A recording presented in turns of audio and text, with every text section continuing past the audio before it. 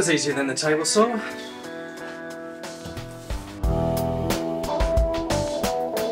Okay, so if you don't know what you clicked on or how you ended up here, firstly, welcome. Um, these two boxes contain the parts for the Carbatec 8 inch helical head parallelogram jointer. Uh, so first things first, I suppose I should get them all unboxed and see what we're working with.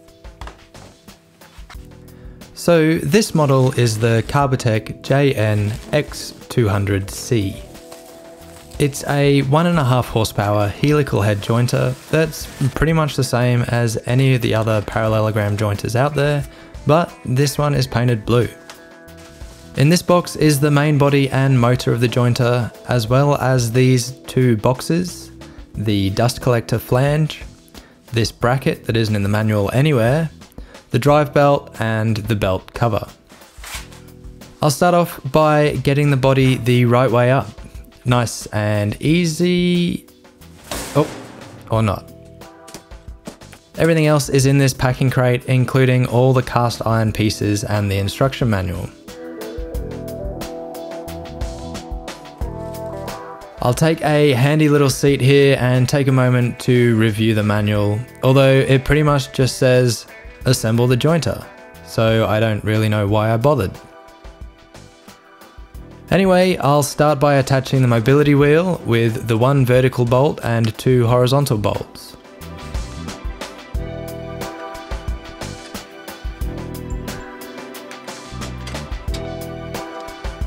Once tightened, I appear to have learned my lesson from before as I lower the body down again. And this wheel's a bit sticky, so a heavy dose of WD-40 makes life a bit easier. The infeed table, outfeed table, and cutter head all come in one pre-assembled piece, which is great, but very heavy. And it's made all the more heavy with the bolts that they sneakily attached the whole assembly to the crate with that I wasn't expecting. With a quick game of Twister on the floor, those bolts are out the way and I can get into the actual lifting on the jointer body. I would always recommend using an able bodied friend or neighbour, but I am stubbornly independent and like to make my life difficult. So I'll go through a two part lift, getting one side part of the way up and supported on my old table saw stand. And after a questionable little shimmy to pull my shorts up, I get everything up and in place.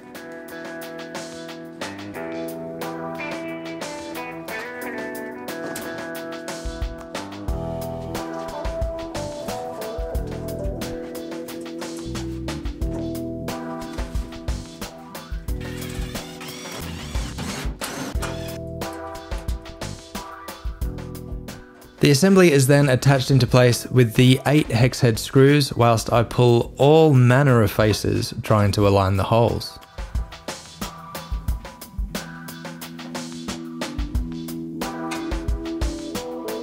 I'll pop the other cover off and start fixing this side before becoming very concerned with something outside apparently.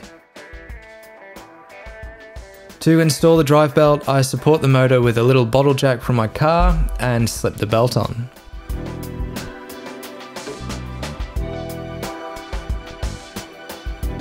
I'll then loosen the horizontal and vertical bolts that hold the motor in place before using a straight piece of timber to align the two pulleys. One of the few things the manual did say was that the optimal belt tension is when it deflects one inch in the middle of its travel. A bit of downwards pressure on the motor and the bolts retightened and it looks like the tension is about where it needs to be.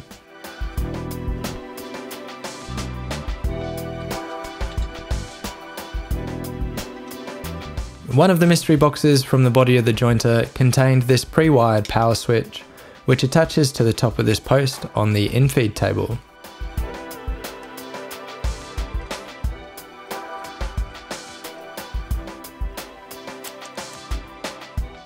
The cable then goes through this hole in the side of the body and plugs into the motor nice and simply. The dust flange is then attached with these four screws and then I'll put the side panels back on.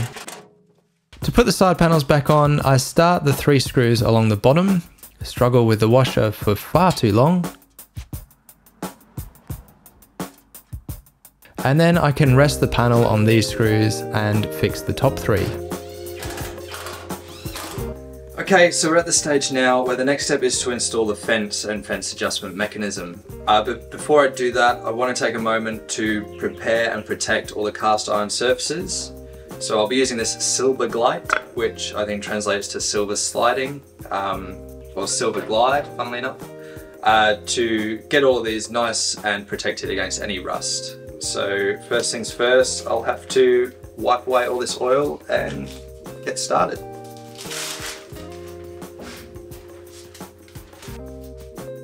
Silbergleit is described on the packaging as a dry lubricant for woodworking machines, so perfect for this application. It is applied probably not as liberally as this and massaged into the cast iron. I then wipe away any excess and use these retired kangaroo pyjamas to give it all a final buff.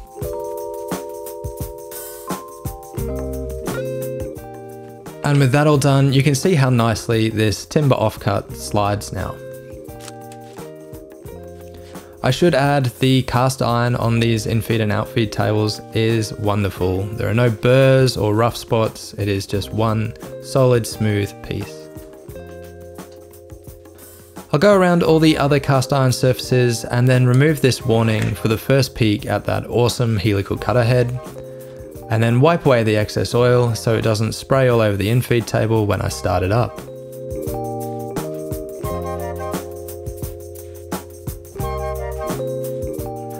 I give the same treatment to the fence before installing the fence adjustment mechanism.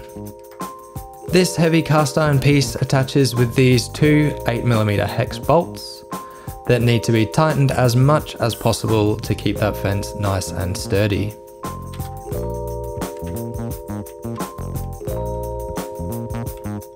I'll then remove these two 6mm hex bolts on the front and attach the fence.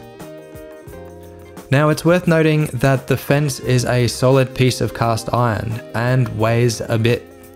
So planning ahead and adjusting the angle before getting it to the jointer makes life a lot easier when you're trying to balance it and screw it in place at the same time. Again, you want these screws nice and firm so it only moves when you want it to. Now I'll quickly install the belt guard with these two sets of bolts into the main body. Okay, so we've reached the point now where we need to set up our joiner to make sure that it's nice and accurate when it's time to use it. First thing I'll do is set the outfeed table height to make sure it's in line with the cutter head. This should be level with the top of the arch of the cutter head. Ideally, you'd use a trusted straight edge for this, I'm going to use this trusted 6 inch steel rule held upright with a pair of nips. And I'll just tap the table down until it just barely grazes the cutter head. In fact, you should just about be able to hear the graze rather than see any movement in that straight edge at all. I'll then lock that height in place and do the same movement with the cutter head in three positions across the table. This is checking that the whole table is coplanar with the cutter head, and in this case the front side nearest to me is marginally higher and doesn't touch the straight edge when you rotate the cutter head. So to adjust this, you remove these grub screws at each of the table adjustments, and then under that is another grub screw that you just loosen. Then you just take a punch and a hammer and adjust in tiny increments until that straight edge interacts with the cutter head the same way all the way along. Now in my opinion, it's worth taking as long as you need to to get this set up perfectly, because once it's done properly, you shouldn't have to do it again. I'll do the same with the infeed table, and once completed, you can see that when I turn the cutter head, it moves this piece of scrap wood the same amount all the way along.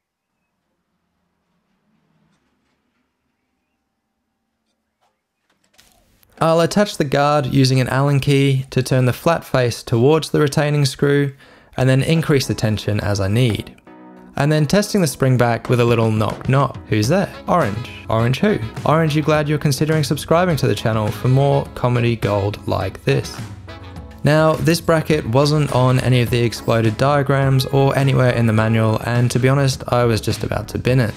But then I remembered this picture from the website when I bought it with these little paddles neatly tucked away on the side of the unit.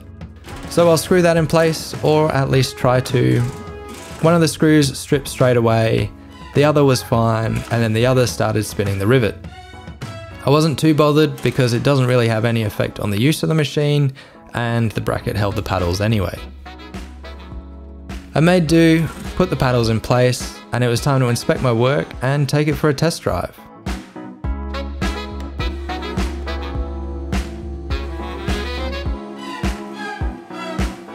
Now the finish from the helical cutter head was incredible. It was also extremely quiet and delivered a perfect square edge.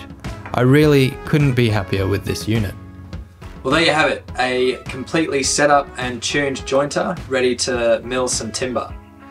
Uh, I have some furniture to rearrange and some bits of timber to play with. Uh, I hope you've enjoyed this episode.